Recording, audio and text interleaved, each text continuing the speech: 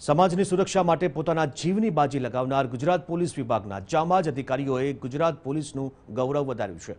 અને રાષ્ટ્રીય ગૃહ મંત્રાલય દ્વારા ગુજરાત એટીએસને સ્પેશિયલ ઓપરેશન મેડલ એનાયત કરવાની જાહેરાત કરાઈ જાન્યુઆરી બે હજાર વીસમાં આઈએસઆઈએસના આતંકીને પકડી પાડવા બદલ ગુજરાત એટીએસને ગૃહ મંત્રાલય દ્વારા એવોર્ડ એનાયત કરાશે જેમાં DIG Himanshu Shukla DSP IG Sheikh DySP K K Patel તથા પીઆઈ વિજય મલ્હોત્રાનો સમાવેશ થાય છે